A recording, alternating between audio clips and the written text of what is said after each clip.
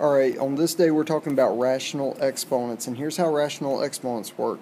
The denominator of an exponent will always be the power of the root, the index of the root. So if I'm going to change the form here, on part A, I'm going to go ahead and make a root symbol. I'm going to go ahead and write my base of A inside there. Now, I got to fill in two pieces of information. This will be the seventh root because seven's the denominator, so I'm going to put a little 7 on this little notch of the root. And it'll be A inside there will be to the first power because that was the numerator. And I've changed form into radical form.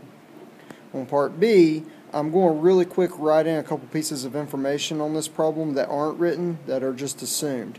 Because it says square root, it's to the second index on the root, and W will be to the first power. Now I'm ready to convert it into exponential form. So I'm going to write W as my base and put a little fraction bar here because I had a root. Now the denominator of my exponent will be the 2, the index of the root. And whatever your power is inside here goes on the numerator, just like so. On your assignment, this will be similar to the first four problems that you'll see. Alright, on example 2, the instruction really matters, so it says to evaluate. Usually I prefer my students to think of when you see the word evaluate, you should be grabbing the calculator and really using it. Because what I can do here is type in 49th and raise it in the calculator to the negative 1 half power. And I'm just typing in negative 1 divided by 2 in the exponent. And it spits out your answer. Now, you do want to answer with a fraction if you need to. So here I would hit the math key which is right here, and hit enter on convert to fraction. And that's going to be 1 7th. By the way, the exponent key was right here above the division key. I did that kind of quick. So 1 7th would be my answer for part A. For part B, it's as simple as typing in 16 and then the power key, 3 fourths. So 16, I just hit that power key above the division. And now I'm going to type in 3 divided by 4 for 3 fourths and hit enter and I get 8. So there's my answers. Now what I'm going to do is show you, well, where did those answers come from? So for part A, um, here's what you could have done by hand is first of all move the 49 to the half to the denominator because of the negative exponent and now change the 49 as a base to 7 squared. And the reason why I identified 7 is because when I square it, it's going to interact well with this 1 half over here when I multiply those exponents.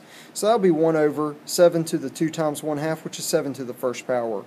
Now that's what happened inside the calculator to get your answer. Uh, next thing I'll do is B by hand, um, but you don't have to do these by hand, just use the calculator if you feel more comfortable with that. 16 to the 3 fourths. So I'm going to think of something that could be raised to the fourth power to be 16, which would be 2. 2 to the fourth power is 16. And more often, it's like my honors levels kids, I'm expecting to change these bases and do what I'm doing by hand. And then this would be 2 to the 4 times 3 fourths, which would be 2 to the third whenever I multiply 4 with 3 fourths. Now, 2 to the third is 8, and that's your answer for really what I'm wanting you to do here is just use the calculator, get comfortable with using it for evaluate. This is what you're going to be doing on problems 5 through 9 on the assignment that I'm pairing with this. Alright, for the other problems that say simplify, you apply the exponent rules that we've already learned about up to this point. So for instance on part A, where I'm multiplying this base of y together, I'm going to have y be to the 1 7th plus 4 sevenths. And that goes back to day 1 on this unit, where when we multiply, we add our exponents together to get it. So that'd be y to the 5 sevenths. Remember, you got to have a like, you have to have like denominator there, and you've got to uh, make sure that you add the numerators. Don't change the denominator when you add. You can also use your calculator if you're uncomfortable. You just type into it 1 7th plus 4 sevenths, and uh, it'll spit out 5 sevenths for you. Alright, next thing is uh, the x to the negative 2 thirds. What's going to happen there is because of the negative exponent, you're going to move that to the denominator, 1 over x to the 2 thirds. Now that it's a positive exponent, that would actually be good, and we're going to stop it right there. Now, I am going to point out sometimes they uh, prefer that this be not a root right here, so you have to work with that a little bit if it's multiple choice. But that's something I'll go over in class and I can talk to you during Smart Lunch. For um, Foundations Math 2, I'm actually just going to leave it right here as my final answer.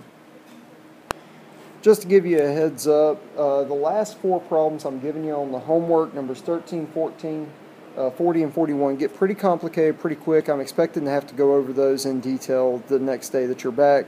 So please let me know what questions you got on the assignment and uh, let's get ready to finish up this unit. Thank you.